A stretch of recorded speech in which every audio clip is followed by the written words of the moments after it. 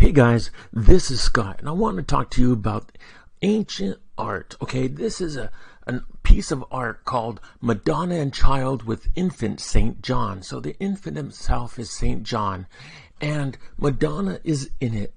Now, this painting was made in about 1466 to 1513, they think, but most likely about 1480, they say in the upper right hand corner, in the upper right hand corner, there is something that looks like a UFO.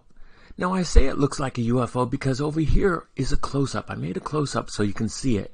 And the UFO seems to have godly light emanating from it, okay? The lights are just shooting out from it just like a UFO, just like a glowing spaceship.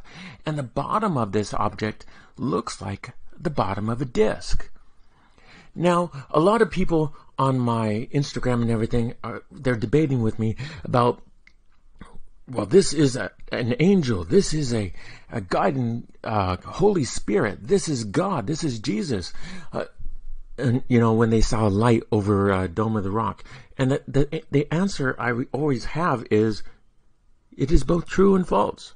It is both one and the same, because I believe I believe a lot of aliens have been accused of being gods or or angels or other holy beings because their abilities are just so extraordinary.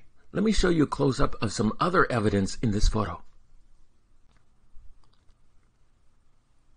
Okay, guys, check out this different close-ups. Okay, now you see the UFO over here. It's in this location right here. But what you don't see is right down here. There is a person and his dog. Here's a close-up right here I made. A person and his dog looking up at the UFO. So that is 100% proof that this is not mold, this is not a mistake, this is not a splatter of paint.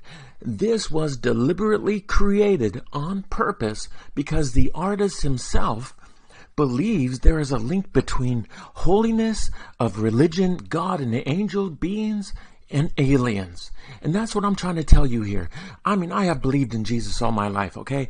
I believe in all religions. I subscribe to all religions Jewish, um, eh, Buddhism, all of them.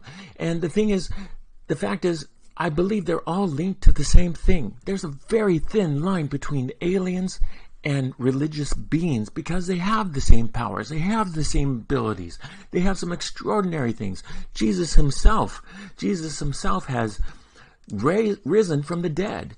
I mean, he is just extraordinary, right? Because he rose from the dead. Look at this spaceship. Look at this spaceship. He rose from the dead, guys, and he also healed other people instantly just by touching them. I mean, that is both holy and alien powers. That is just extraordinary, isn't it? Look at this. Look at this guy. This is St. John. He's looking up to the Holy Mother uh, Madonna. This is Madonna, Jesus' mother. And uh, wow, look at this, guys. Look at this. You can see the guy and his dog over here looking up at the UFO. That is just absolutely extraordinary evidence that even back in the 1400s, UFOs were witnessed. And the person who painted this painting in Florence, Italy, he he witnessed these things. He witnessed UFOs, or at least one. And it must have had some religious impact on him because he put it into this religious painting. Okay? And like I said, Please be nice. Please be nice. I believe there is a direct link between religion and aliens. And really, how much evolution does an alien have to be to to get to what level of um, ascension, basically, uh, do they have to be to be considered an angelic being, uh, a godly being? I mean, that's just awesome. So, uh, Jesus has probably been around forever, and uh, from what I read in uh, Frank Strange books, uh, Doctor Strange books, he, he's uh, an, uh, a guy who worked for the U.S. government. Stranger in the Pentagon, he wrote. he met Val Valiant Thor, and Val Valiant Thor said Jesus is on Venus right now alive in meditation. So maybe that's true, maybe it's false, but the guy, but guys, this is just absolutely incredible evidence. I really want you to consider this seriously. There's a thin line between religion and ufology.